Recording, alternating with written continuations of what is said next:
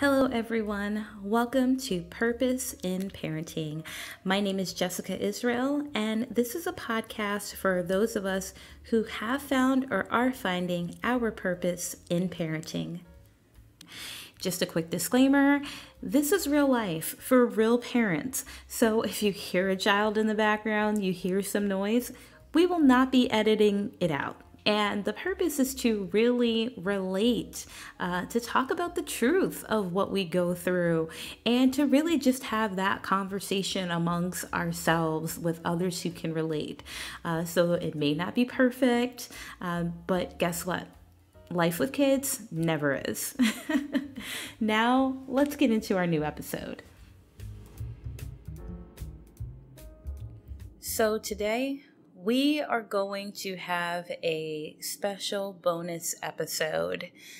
This is going to be a little bit different than the other episodes that I've planned and have put out so far because we're going to talk about something that is a little controversial and really for the moment.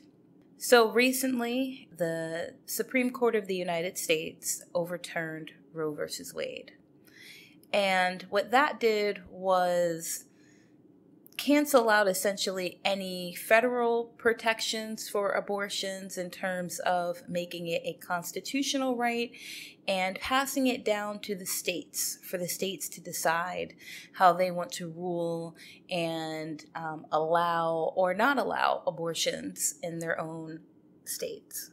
And in hearing all of this, uh, the conversation has changed a lot.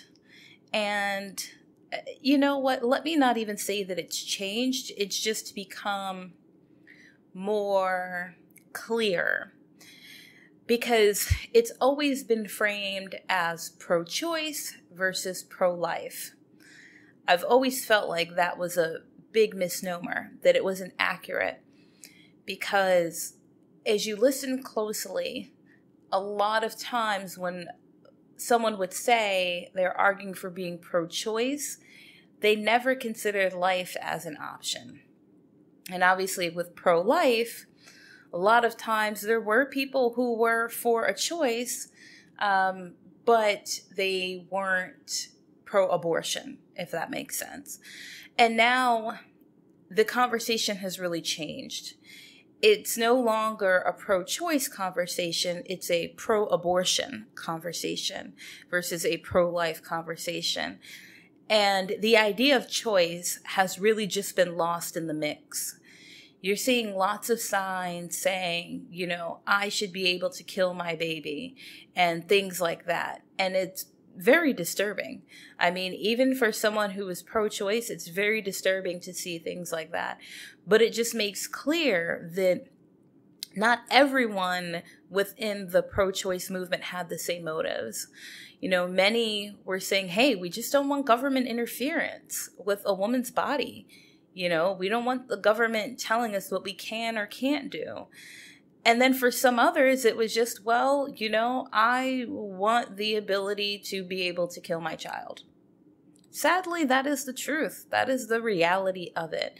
Um, it's interesting because you know, it's not even the conversation anymore of saying whether it is or isn't a living being. It's just, I want to be able to kill this living being if I choose. And saying, no, I don't want to give this living being up for adoption. I don't want to carry it and birth it and give it to someone else. I'd rather it just not survive. I don't want to give him to someone else. I just don't want him to exist if I can't have him. This is going to be a tough one. And I'm sure I'll probably lose some people along the way in having this discussion because it is a tough discussion. But it doesn't have to be because I feel like everyone's having multiple different conversations. I think one conversation is pro abortion, one conversation is pro life, and one conversation is pro choice. And those are all different things. I think pro choice is very different from being pro abortion or pro life because you can be pro choice and still be one of the other. But unfortunately, like I said, it's become either pro abortion or pro life. The idea of a choice has really been lost in the mix. And you can see that from the conversations that have been happening online, on Twitter, etc. The signs that people have been making. One sign that literally said, I should be able to kill my baby. Another sign that said, well, God was able to kill his only son. Why can't I? I mean, this is what's really going on out there. But the purpose of this episode is not to talk about pro abortion or pro life or pro choice, which are all different things. The purpose of this podcast episode is to give a voice to the person who has been forgotten in this conversation. As much as we talk about supporting mothers and loving mothers and women's health care, the voice that has been conveniently ignored in all of this is the voice of the mothers who want their children but are unable to have them or forced into a situation where they abort. Those mothers are not being given a voice, and it's wrong. We can't say we care about women, but we don't care about all women. We only care about women when it fits the narrative we want, when it fits the agenda we want, when it fits the storyline we want. There are other women out there, lots of them, and their voices are not being heard. We can't say we care about women when black maternal and fetal health care is abysmal in this country, where black non Hispanic women die at a rate 3.5 times higher than non Hispanic white women in this country when they are pregnant and in labor. Black maternal and fetal health care in this country needs a lot of attention. We have mothers of color and their children that are dying, and no one's doing anything or saying anything about that in terms of women health care. That is a problem.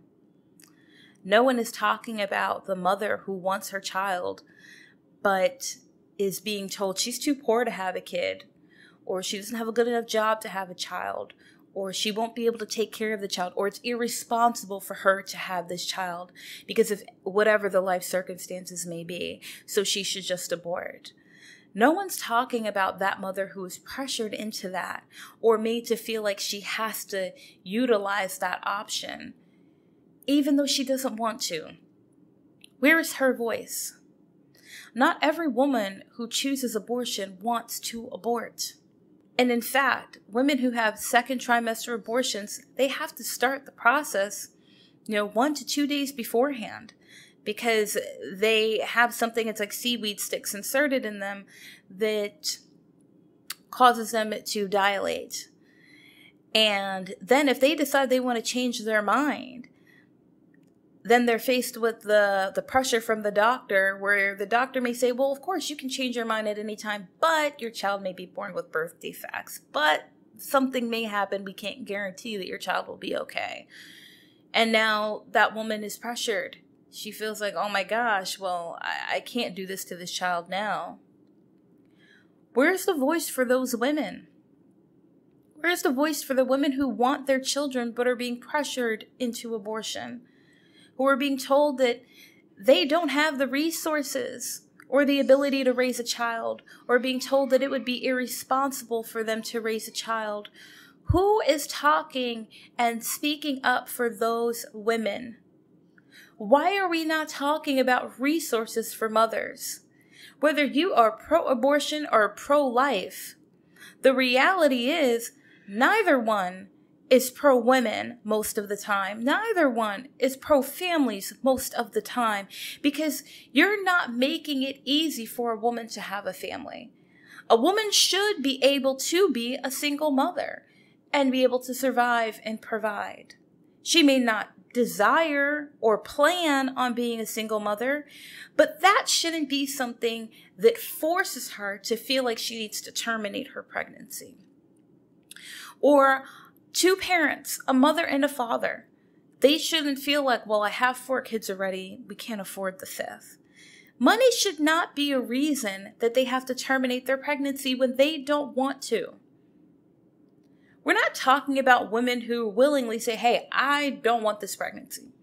We're talking about those who do.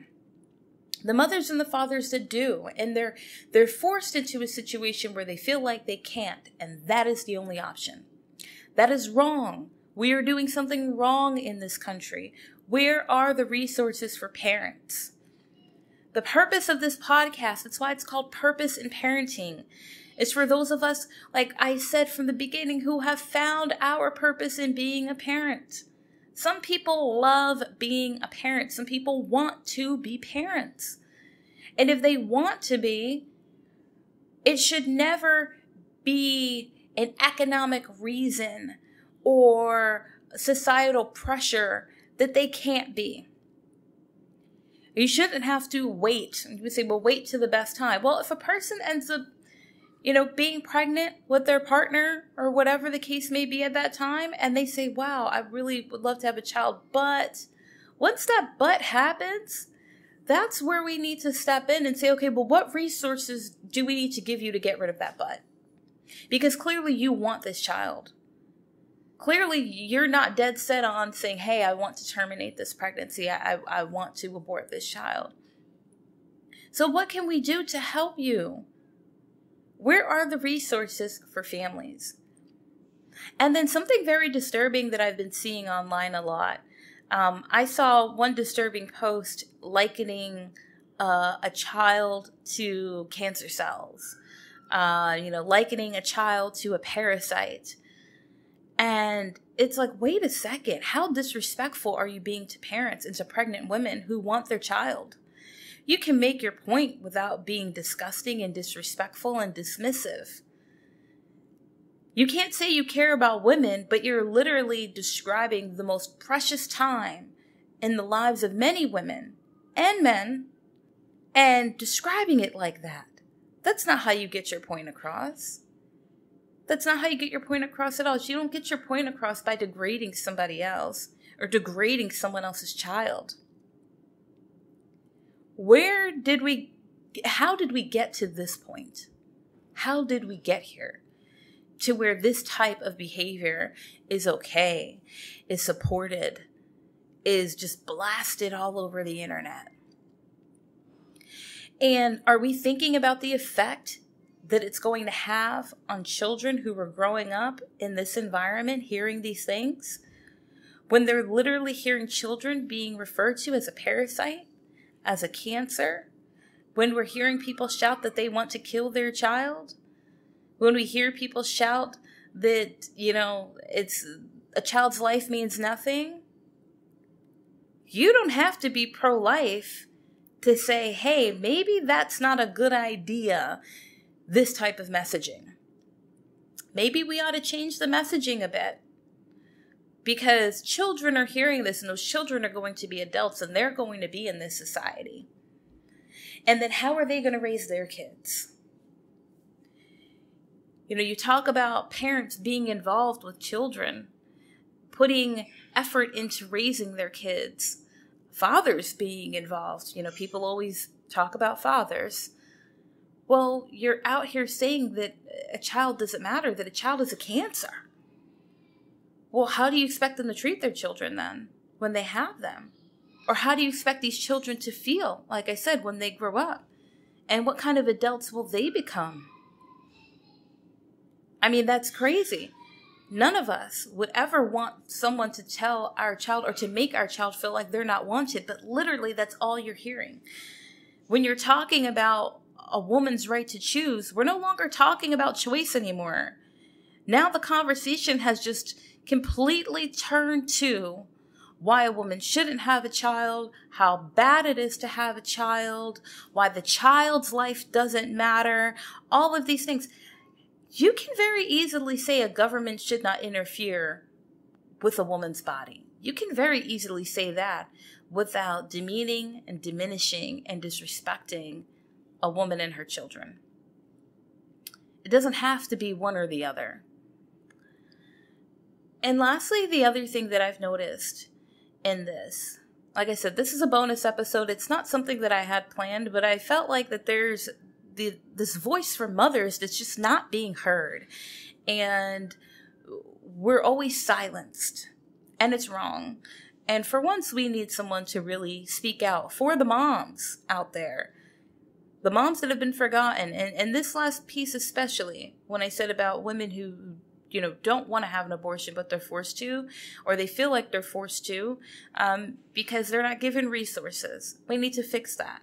Then also online, I've seen the reference to women who have had a miscarriage or an ectopic pregnancy or other issues, and then likening the procedures they go to to an abortion. That is wrong. That is wrong. That is harmful. That is dangerous and disrespectful. A woman who has a miscarriage and needs a D&C or has to have her child removed from her body, she didn't want an abortion. She's not aborting her child. It is wrong to say that to that woman to say, well, you just aborted your child. She did not abort her child as she miscarried. You know, the trauma that comes with a miscarriage, how hard it is for women that want these children.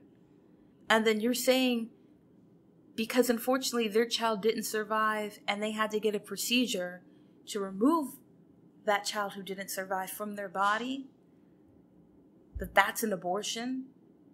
You're, it, it's crazy.